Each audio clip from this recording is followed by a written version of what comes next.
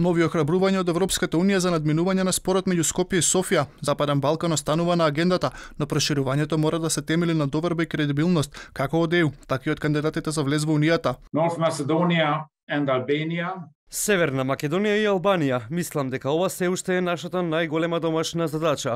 Двете земји ги исполнуваат реформите и условите за да ги почнат преговорите и да ја одржат првата меѓувладина конференција. Се надеваме дека тоа ќе се случи овој месец. Последните одложувања имаат негативен импакт на кредибилитетот на Европската Унија. Лично ги охрабрив двете држави да дојдат до решение и конечно да се реши спорот и да се деблокира процесот. Од македонската страна вела дека пораките кои дојдоа од Софија минатиот период даваат надеж дека спорот меѓу двете страни во брзо време ќе се надмине.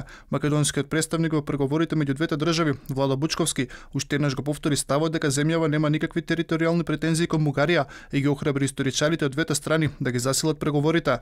Мислам дека дојдовме до еден степен каде што многу малку фали да стигнеме до заедничката цел, а тоа е да го имплементираме договорот за пријателство и соработка.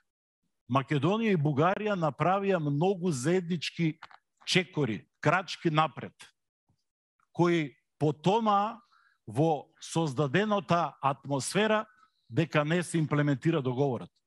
Бугарскиот европратеник Илхан Чучук смета дека новата бугарска влада има можност да го рестартира конструктивниот диалог, бидејќи интеграцијата на Западен Балкан ќе биде успех за регионот, за Европската унија, но и за Бугарија.